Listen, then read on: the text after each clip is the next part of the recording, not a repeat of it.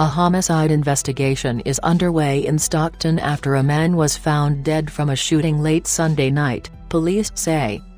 Officers with the Stockton Police Department went to the area of Huntington Lane and Coventry Drive after a shooting was reported around 11 p.m., according to a news release from the department.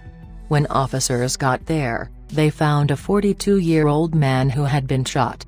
Medics took the man to an area hospital, where he died from his injuries, according to police. Homicide detectives are investigating the shooting. As of Monday morning, police said there was no motive or suspect information to provide.